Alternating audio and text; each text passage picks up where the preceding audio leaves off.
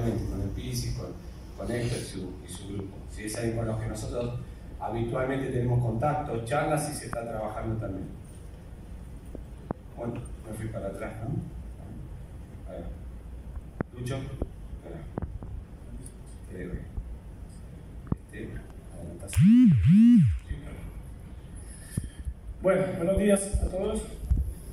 Eh, la verdad es que para nosotros es un verdadero privilegio poder compartir, explicar de alguna forma, digamos, a qué nos dedicamos, que ustedes entiendan todo lo que hay detrás eh, de una convocatoria, de seleccionar jugadores, es decir, hay muchísimo trabajo. Nosotros, evidentemente, entendemos que no es la verdad absoluta, pero son nuestras formas de, de trabajar en las que creemos claramente. Aquí, como lo ha dicho,